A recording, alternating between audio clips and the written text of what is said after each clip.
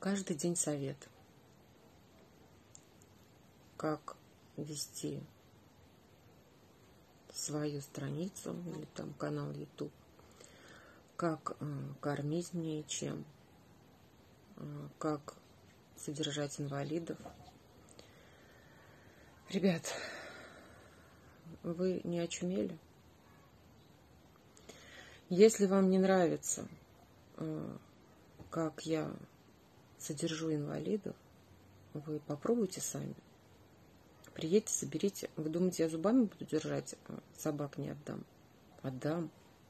Отдам. Хотя бы на день приедьте, заберите у меня Варю или Пальму.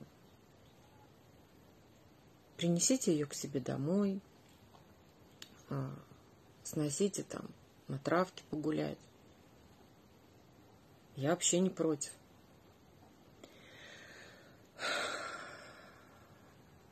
Я одна живу в своем доме вместе вот, с этой толпой животных, которых уже больше 120. Я этот дом заработала сама. Мне его никто не дарил, он не доставался мне по наследству. Только две моих руки. Понимаете, две. Нужно успеть все.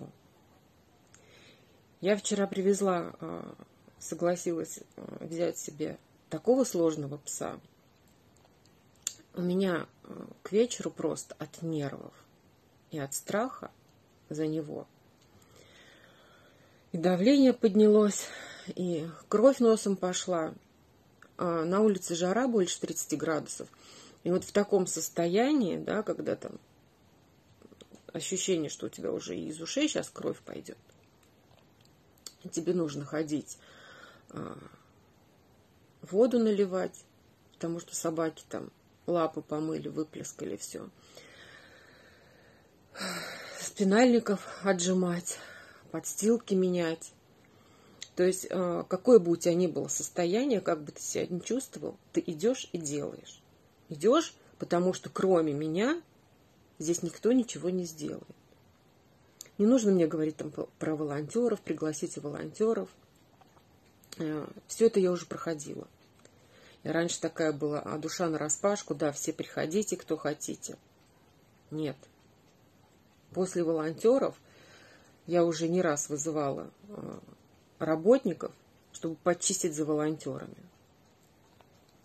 Чтобы э, научить, например, отжимать инвалидов, это нужен не один день, это нужно приложить а, столько усилий мне, во-первых, а, чтобы кого-то обучить. Желающих опять таких же нету. Никто не звонит, не говорит, Анна, давайте я там, заберу постирать а, тряпки после Вари. Никто. Хотя у меня было несколько постов, то, что у меня сломана а, стиральная машина, то, что она течет то, что я простирываю вручную, вот все, что описывает собака, за день там по 5-6 простыней мне приходится менять. Если вы считаете то, что я плохо содержу инвалидов, еще раз говорю, приедьте, заберите. Я много вижу, как э, содержатся животные в других приютах. И скажу честно, то зачастую мне их просто жалко. То, что Варя попала ко мне, то, что Пальма попала ко мне, это огромное везение для собак. Это не то, что я там себя хвалю, а какая я молодец, хотя я действительно молодец. Потому что, ну, не было бы этих собак уже живых. Не было. Я вот просто за уши тащу Варю. А, каждый раз, когда у нее там поднимается фосфор в крови, я просто вытаскиваю собаку с того света. Сейчас у меня еще один вот приехал. Утром я просто первым делом подскочила а, в 5 утра и поскакала туда, к нему жуткий страх. Я почему-то очень боюсь, что он умрет. Понятно, что на меня вообще тогда там спустят всех собак, меня камнями давайте закидайте меня. Слава богу, пес жив. Сегодня будем пробовать ему капельницу поставить, обезболивающее сделаем.